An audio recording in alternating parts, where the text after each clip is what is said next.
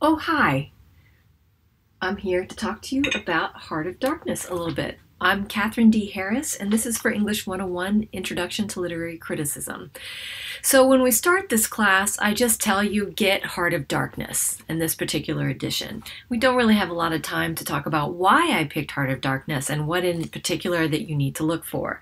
There's so much out there right now about Heart of Darkness in terms of the videos and peer reviewed articles and also cliff notes, and you know you're going to go look at them. So, I've made a selection of some of them that I like and that I don't like.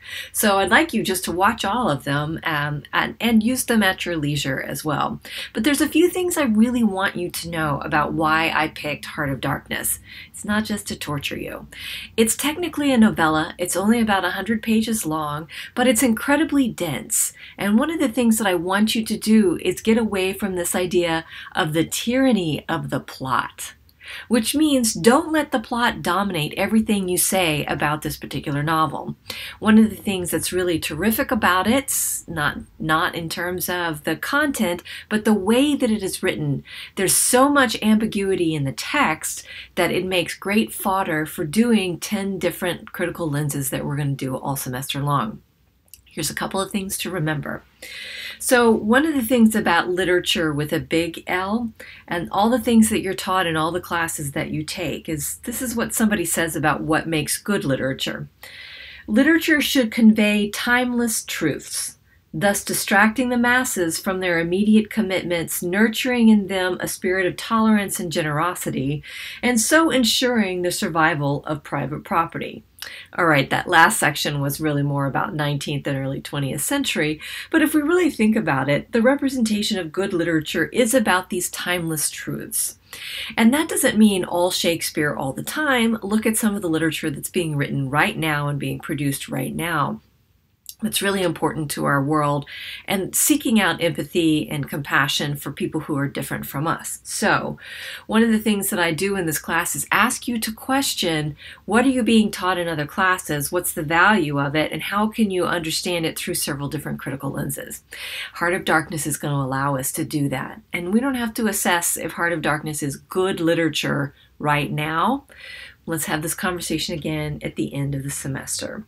So here's another quote for you Literature would be at once solace and reaffirmation, a familiar ground on which Englishmen could regroup both to explore and to find some alternative to the nightmare of history.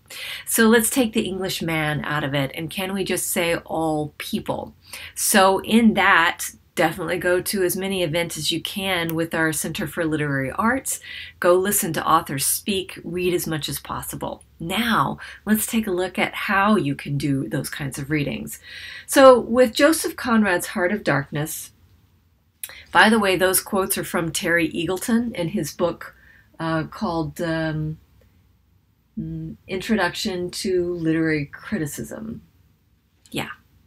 So let's let's think about Joseph Conrad's Heart of Darkness. It was published in 1899 in a, what's called a serialized um, output, meaning that it was a few chapters at a time, and it was in this magazine called Blackwoods Magazine.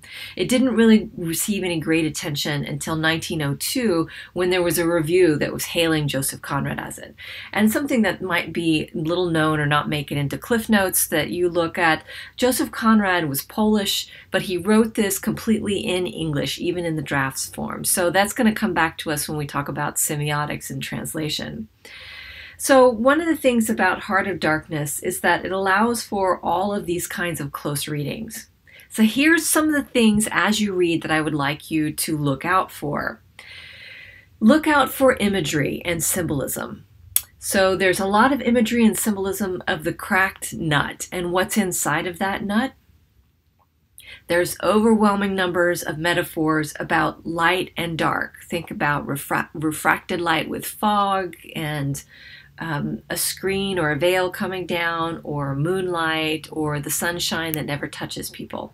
Right?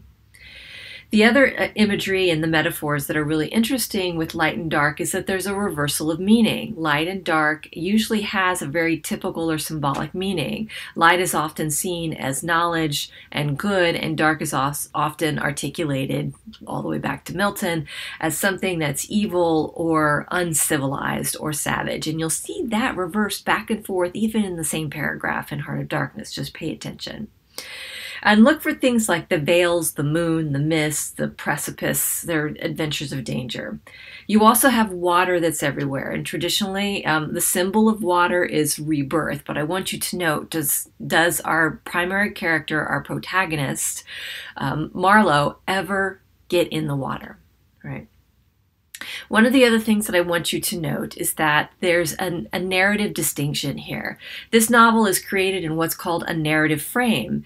It's not told in real time, it's a retrospective narrative. It begins at the beginning with an anonymous narrator and it's somebody who's from the company and that anonymous narrator is taught is telling you what Marlow, Charlie Marlow is saying.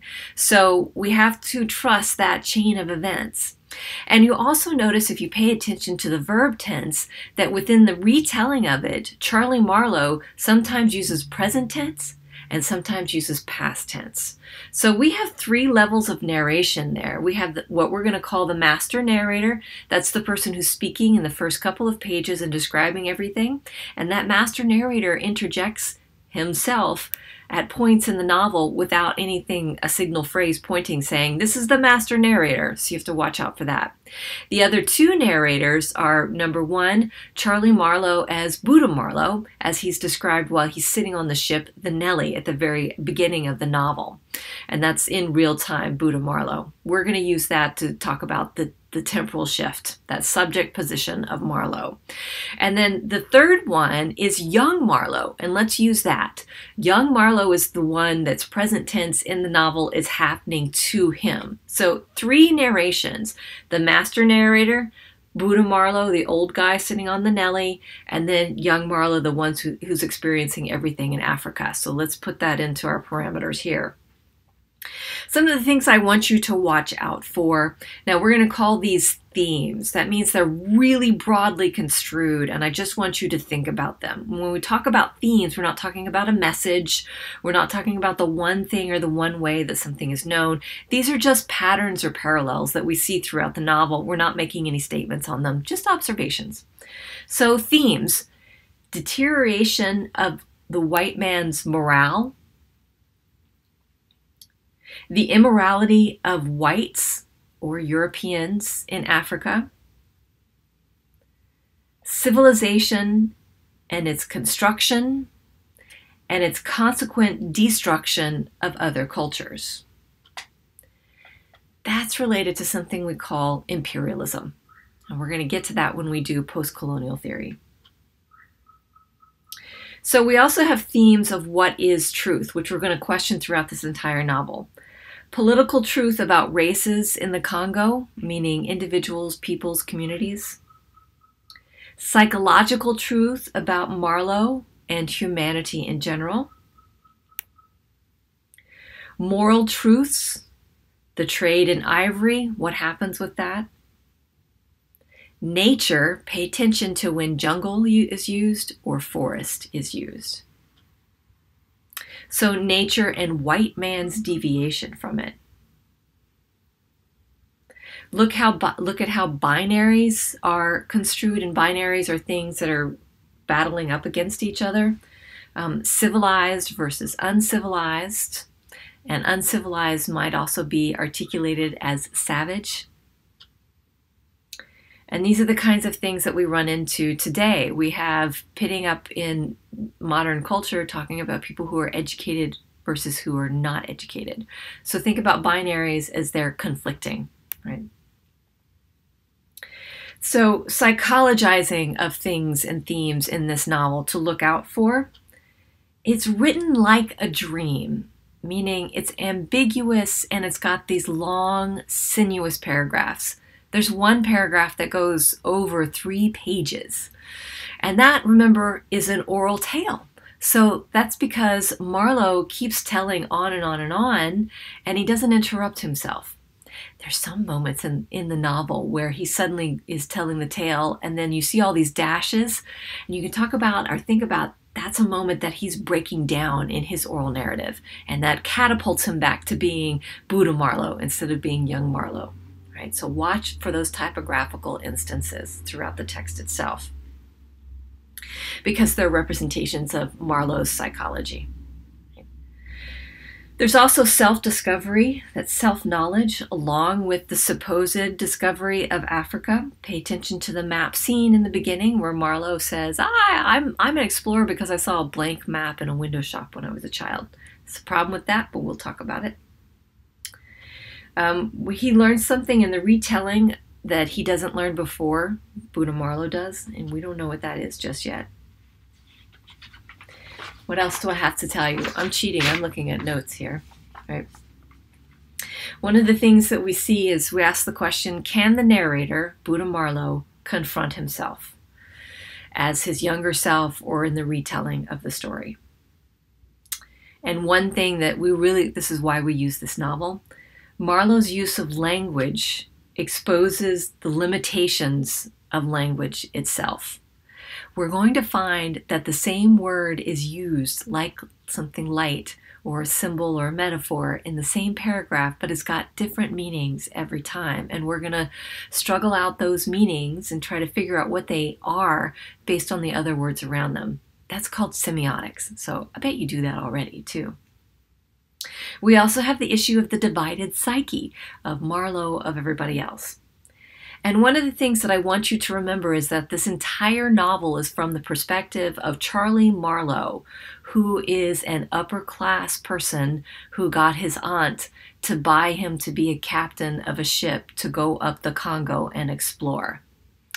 He's not a working class person. So keep that in mind as you go through. You get hints uh, at the beginning of the novel, so really pay attention to those because they temper the way that he sees everybody else.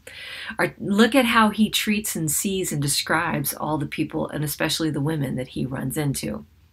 One other secret often the African woman who is seen with Kurtz, one of the other people in the novel, she's articulated as the African mistress. She's labeled that by other characters in the novel. However, there is no evidence that she ever had sex with or is the mistress or lover of this guy, Kurtz.